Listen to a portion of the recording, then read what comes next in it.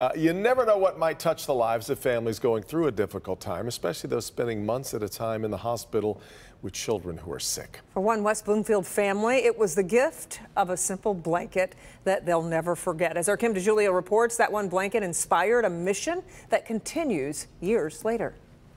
It was five years ago when Candice Pattah and her husband spent months in the hospital during the holidays with their sick daughter, McKenzie. We were there for a good two months just praying literally on our hands and knees that, you know, we were going to take her home.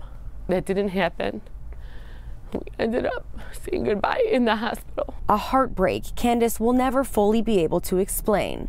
But what she can explain is the comfort she felt after she was gifted a blanket in the hospital. Not that we were cold or anything, we were just like, just so comforting to just have a blanket and um, they would put one on her they would give one to us and it was so sweet and comforting it just felt like a sense of security a year after McKenzie's passing Candice remembered that blanket i kept thinking about all the other people in the hospital during that time and i'm like what could I do for these people? So she launched Kuddle 4 Kenzie, asking people to make blankets for others in the hospital. Everyone was so affected by it and touched by her life that everyone wanted to give back or do something, you know, in honor of her. Kuddle 4 Kenzie now hosts a workshop with games, music, Santa Claus, and even children writing get well cards for other children. It's like some kid made this for me that I don't even know and sending me so much love in the hospital. They have donated more than 5,000 blankets to hospitals all over Michigan. McKenzie is still spreading warmth even today,